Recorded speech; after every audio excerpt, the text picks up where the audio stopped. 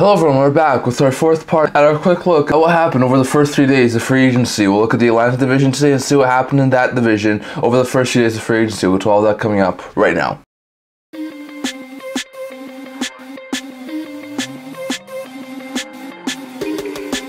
Hello everyone, welcome back to another video here at the End to End Hockey Channel. Before we get into this video, don't forget to like this video, subscribe down below. Thank you for your support. We're able to help you guys. So if you haven't already, don't forget to subscribe button down below. And don't forget to comment down in the comment section below so you know what's in today's video. Now, uh, in this video, we're going to look at the Atlantic division. We've looked at the other two divisions earlier on. It's like previous videos. So we're going to be looking at the Atlantic division, looking at what happened. The first, uh, potentially some of the things that happened on 30th to, to the third. So some interesting things happened for this division. So we'll start with the Boston Bruins. They made one, two, three, four, five, six, seven, eight signings on July 1st a couple of smaller ones, a couple of big ones. So we'll get to the smaller ones first. Uh, they sent Max Jones to a two-year, $1 million AAV deal to be a solid bottom six forward from. That's a pretty good pickup there for them. Uh, they sent Jordan Oesterle to a two-year league minimum deal. Should be a solid sixth, seventh defenseman for him. Was last year in Calgary. Uh, then they sent Cole Koepke, who was over in Tampa last year, to a one-year league minimum deal. Should be a call-up option.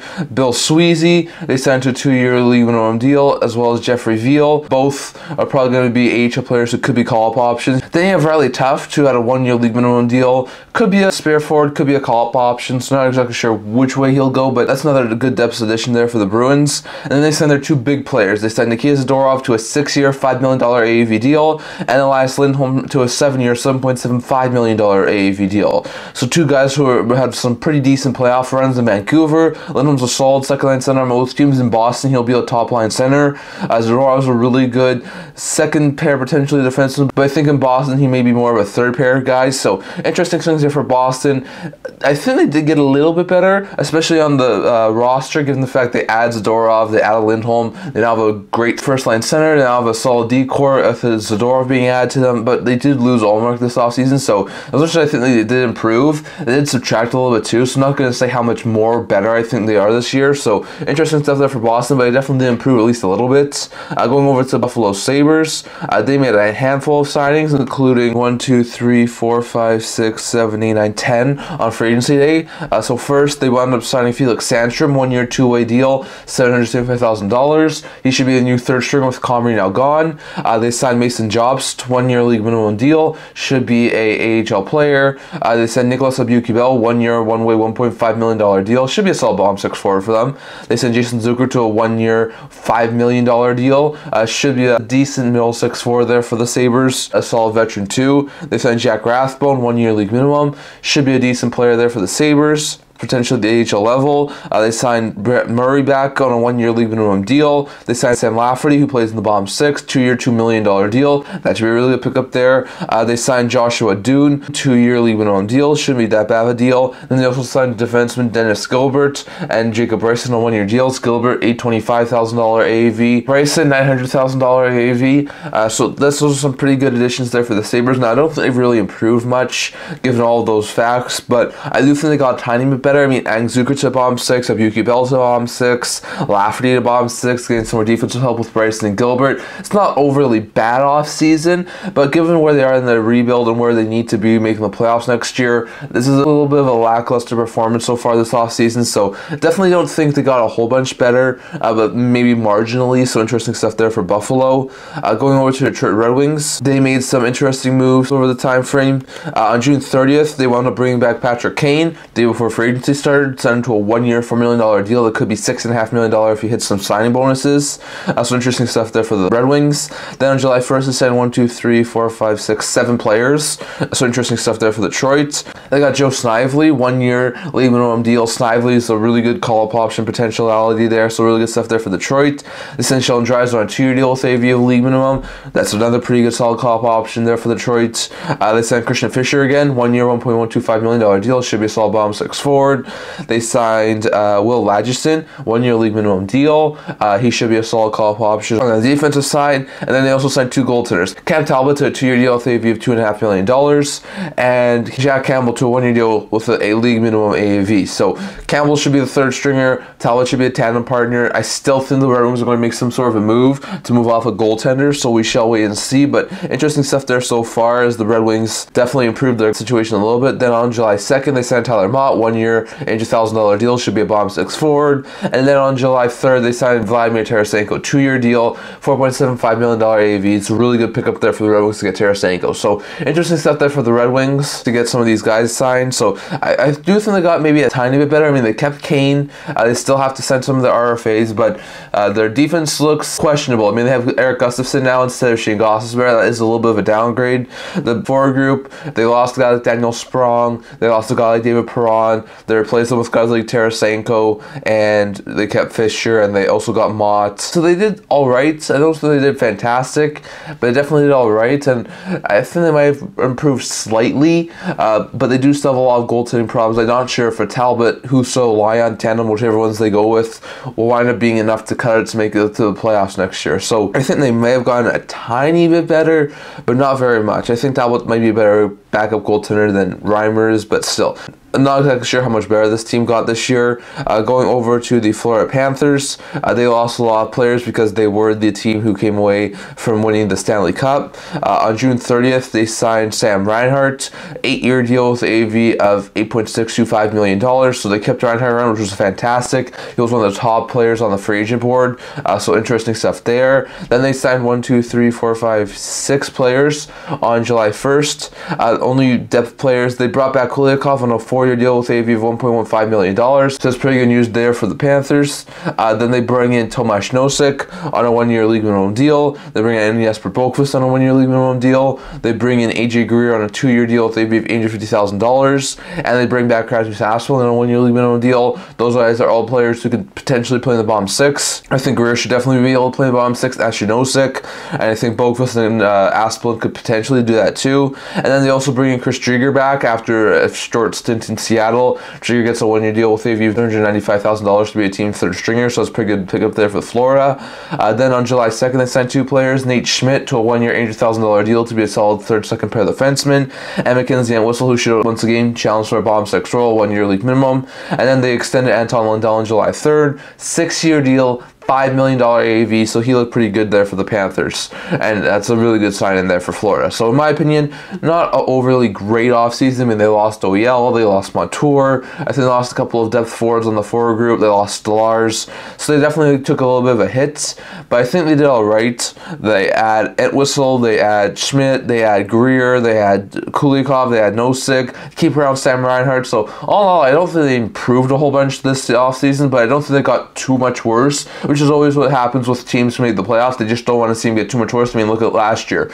Vegas really didn't do much on trying to add pieces, and all they did was move on from Reilly Smith. So, like I said, they still got worse, but it's still a pretty good team and expect to do really well next year. So, interesting stuff there for Florida. Next, we're going over to Montreal Canadiens. That they have not done a whole bunch. On June 30th, they made one small move, moving Kovacevic to New Jersey Devils in exchange for a 2026 fourth rounder. It was a pretty good move there for the Canadiens, given the fact that they really need to make some uh, moves moves and try and move off a defenseman, and they did with Kovacevic. Uh, then on July 1st, they made two signings. That's the only signings they made over that three day period. Uh, they wound up signing Alex Barré-Boulet, one year league minimum, should be a solid bottom six forward or call up option there for the Canadiens. And then they extended Juraj Slafkovsky. Slafkovsky, who's entering a final year of his ELC, gets an eight year extension with a view of $7.6 million. So it's a pretty good pickup there for the Canadiens to get Slafkovsky on an eight year extension. And I think that should be a really good pickup there for the Canadiens. But that's all they did. I'm a little bit surprised they didn't do much that there was some talk of them moving off a couple more defensemen, some more veteran forwards, uh, some other things that they could wind up moving, but they don't wind up doing any of that. They also wind up adding pieces, so you can't really say they won, but I also can't really say they lost because they didn't really do anything that really warrant them losing the free agency period so far. So I think they're sort of neutral at this point. Uh, if you go to Ottawa Senators, they did a couple of things. Uh, on July 1st, they made a small trade. Uh, they moved Jakob Chychrun to the Washington Capitals in exchange for Nick Jensen in a 2026 third rounder. It's definitely an underwhelming return given what they had to give up for Chychrun, uh, but they do get a solid top four right shot defenseman in Jensen who can really help be a solid defensive defenseman. They also get a 2026 third rounder, so helps a little bit in the draft capital, even though they have to give up Chychrun for it. Then a day later, they wound up moving Mathieu Joseph in a 2025 third rounder to the Blues in exchange for future considerations, so they clear up some cap space, which was really good for them. They're able to get a little bit more cap flexibility. They also get Nick Jensen, so interesting stuff there for the Sens. Then on July 1st, they made one, two, three, four, five signings. Uh, they signed David Perron to a two-year deal with AV of four million dollars. That should be a really good deal for them. Perron's a solid middle six forward. They get Jeremy Davies, who gets a one-year league minimum deal on the defensive end. Pilon, who gets a two-year deal, league minimum. On the forward group, both should be AHL players who are call-up options. Then they get Michael Amadio, who gets a three-year deal with AV of $2.6 million. Amadio is a pretty good third, maybe fourth line forwards. that's a pretty good solid sign there for the Sens. Maybe a little bit of an overpayment. And then they sent Noah Gregor on a one-year deal with AV of $850,000. So it's pretty good moves there for the Senators. I mean, they lost Tarasenko to the deadline. They lost Kubalik. Uh, they wound up bringing guys like Perron, Amadio, Gregor to help fill out that bottom six. They also bring in Ullmark earlier on. Uh, so they bring in Jensen to replace Chychrun, as much as the return's not overly great, I think Jensen might be the sort of fit that this team needs. So all in all, I think they did really good on the free agency day. Then on July 2nd, they signed four players. Uh, Philip Bruce, they get on a one-year league minimum deal. Hayden Hodgson, they get on a one-year league minimum deal. Uh, Adam Gaudette, they get on a one-year league minimum deal. All those are probably AHL players who are call-up options. And then they extend Shane Pinto, who is an RFA, two-year deal, $3.75 million AAV. So pretty good stuff there for the Sens to get Pinto locked up. And then they, on the third, they signed Matthew Andonovski to a three-year ELC with a of $863,000. So all in all, the Sens definitely did improve. I mean, the Ullmark move was fantastic for them. I think as much as the Chychrun move was definitely not overly great, they did improve a little bit on the defensive end. Uh, getting Jensen, I think, might be a little bit more well-rounded for that team. And I think adding some more players in the bottom six like Perron and Amadio and Gregor could be a really good pickup there for Senators. So some interesting stuff there for Ottawa, but I definitely think they got at least a little bit better and it might be enough to push them back to a playoff spot. Uh, going over over to the Tampa Bay Lightning. They made a couple moves on June 30th. They moved Bennett MacArthur to Pittsburgh in exchange for Svechkovsky from the Pittsburgh Penguins. Uh, they then also acquired Jake Guentzel's signing rights from Carolina in exchange for a 2025 third round pick, so they made a couple of small moves. Then on June 30th, they also signed Jake Guentzel's seven year deal, $9 million AAV, so he's going to be the new top six forward with Stamkos now gone. Uh, so then on July 1st, they signed five players. Uh, Jesse Ylönen gets a one year league minimum deal. Derek Pouliot, one year league minimum deal. Steven Santini, one year league minimum deal. Toby Paquette-Bisson, one year league minimum deal. And then they also signed Zemgus Girgensons on a three year deal with a $850,000. So Girgensons should be a solid bomb six forward. Ashley Ylönen, while Pouliot, Santini, and Bisson should all be AHL players to be call up options. So interesting stuff there for Tampa. And they signed three players on July 2nd. They extended Lilleberg, two year deal, $800,000. Actual 12 decently as like a third pair defenseman last year, so pretty good pickup there for Tampa. Uh, they sent Atkinson on a one-year, $900,000 deal, so he should be a solid bomb 6-4 there. And then they extend Victor Hedman on a four-year extension with AV of $8 million. He was going to final year of his deal. That's a pretty good pickup there for the Bolts to extend Victor Hedman, so interesting stuff there. But definitely, I, am not exactly sure if they've really improved much. I mean, they extend Hedman, that's good. They get some more bomb 6 additions with Atkinson and Girgensons, which is also good. But, I mean, they move on from Sergachev, they bring in McDonagh, they move on from Stamkos, close. They bring in Guentzel as much as Guentzel's really good, as much as McDonagh's really good. Are they a whole bunch better than they were last year? I can't really say that with a whole bunch of certainty. So interesting moves there for the Bolts, but I can't really say they've gotten better. Uh, I know they've definitely gotten a little bit younger, but I can't really say they've gotten better at this point. Uh, going over to the Toronto Maple Leafs. They made a handful of signings on June 30th. Uh, they signed two players, including Timothy Liljegren, two-year deal, $3 million AAV. Pretty good, decent deal there. He's going to need to step up his game, though, after not having an overly great season. Then they have Max Domi, who had four years. That's $3.75 million. To get him under four is fantastic. He should continue to be a solid middle six forward. Uh, on July 1st, they signed one, two, three, four, five, six players as well. They signed goaltender Matt Murray to a one-year deal with a view of $75,000 to be their third stringer. They sent Anthony Stolarz to a two-year deal with a view of $2.5 million to be their uh, tandem partner for Joseph Woll. And then they extended Joseph Woll, who's entering the final year, his deal on a three-year deal with a view of $3.66 million. That should be good as long as he can stay healthy. So interesting goalie moves there for the Leafs.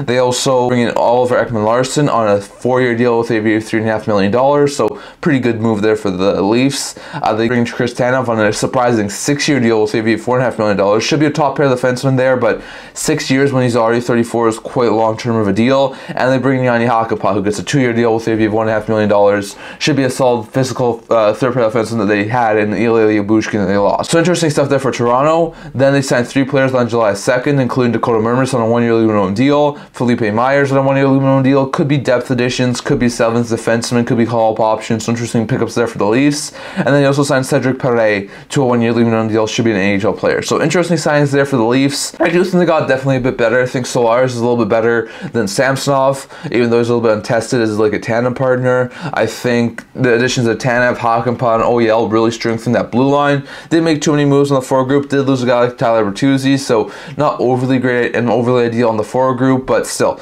I think this team looks a little bit better than they did last year. Wouldn't be surprised if they maybe went and took a little bit of a deeper playoff run. So interesting stuff there for the Leafs. I really like what they've done so far, and I think they definitely got a little bit better. So that's all I'm going to talk about for today in the Atlantic Division. I'd love to hear your guys' thoughts. Uh, for me, just to recap, I think Boston got a tiny bit better, but I can't say got a whole bunch better after the loss of Ullmark. I think Buffalo might have got marginally better as well, but they only add some bomb six forwards this year. I think the Red Wings got a little bit better, uh, but I still have question marks about that goaltending, uh, and I think they still need to move a goaltender. Uh, for Florida, they definitely got a little bit worse, but not too much worse, which is really good for them. For the Canadiens, they really didn't do a whole bunch of anything. Uh, for the Senators, they were able to get a little bit uh, better by adding Ullmark, getting some more forward help, uh, moving Chychrun for Jensen. I think the Bolts might have gone a little bit better, but uh, really, if them losing Sergachev and Stamkos, how much better is that team? And for the Maple Leafs, I think they got a little bit better too, but I'm not exactly sure how much they'll really improve this season. So we'll have to wait and see. But I think the Leafs did get better. I think the Bolts, I'm not exactly sure if they got better or worse. I think the Sens got a little bit better. I'm not sure if the Got better or worse. I think the uh, Panthers got a little bit worse. I think the Red Wings might have gotten a little bit better. I think the Sabres might have gotten a little bit better. And I think the Bruins might have gotten a little bit better, but not really any clear who really took a step forward this uh, free agency period. So interesting stuff there. But I'd love to hear your guys' thoughts on all this down in the comment section below. What do you think about this? Who do you think got better? Who do you think got worse? Definitely love your guys' thoughts on all that down in the comment section below. So I'm going to talk about for today. Until this video, if you'd like to subscribe down below. Thank you for your support. We're going to help you guys. So if you haven't already, don't forget to subscribe button down below. Don't forget to leave a comment down in the comments section below. So something else in today's video. Also the blog to about news, numbers, analysis, stuff like that. So check that out. Leave links in the description below. And kind of see you guys all for next video. See you guys soon.